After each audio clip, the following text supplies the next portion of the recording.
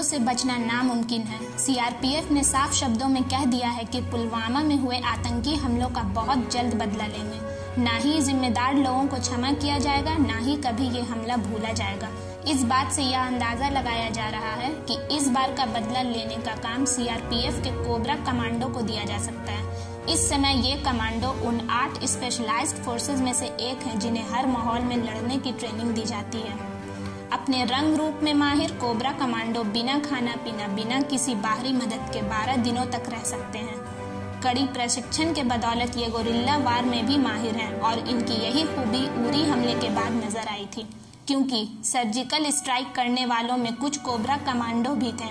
सुरक्षा एजेंसियों के द्वारा तमाम जिलों में पुलवामा के आवंतीपुरा में हुए आतंकी हमले के बाद रेड अलर्ट जारी कर दिया है। जिसके अनुसार दक्षिणी कश्मीरी के सैन्य प्रतिष्ठानों बीएसएफ, सीआरपीएफ और राज्य पुलिस के शिविरों और पुलिस लाइंस की सुरक्षा बढ़ा दी गई है।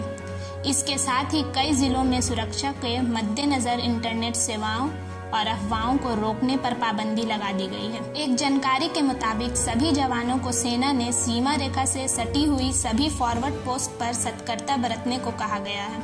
और इसके साथ ही जम्मू कश्मीर के अंतर्राष्ट्रीय रेखा पर बीएसएफ के जवानों को किसी भी घटना की स्थिति में सख्त कार्रवाई करने के निर्देश दिए हैं। जम्मू कश्मीर राजमार्ग पर हुई आतंकी घटना के बाद फ़िलहाल आवाजाही रोक दी गई है। इसके साथ ही निरीक्षण के लिए सीआरपीएफ सेना और पुलिस की टीमों को हाईवे पर लगा दिया गया। जय हिंद।